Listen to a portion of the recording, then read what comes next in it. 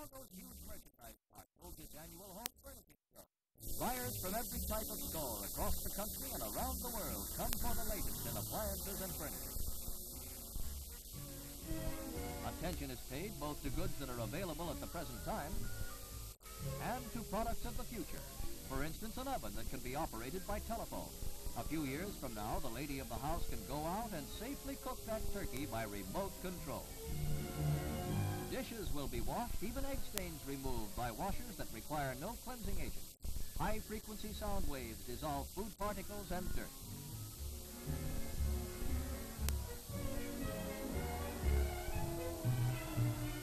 Electricity that can be generated by the flame of a lighter or match. A scientific phenomenon that may soon see practical use. What's on view in Chicago today may be part of your home and your life before long.